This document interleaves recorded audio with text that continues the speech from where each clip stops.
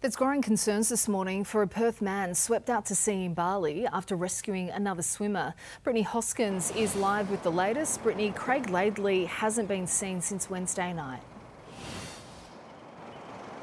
Sophie, his family issuing a desperate plea on social media calling on anyone in the area to help find the beloved uncle, brother and son.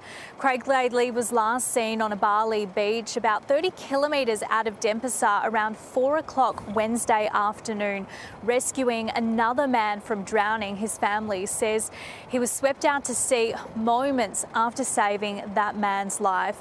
Rescuers have been searching land and sea ever since with crews faced with challenging conditions including bad weather, big waves and rocky beaches and so far sadly no sign of the 56 year old.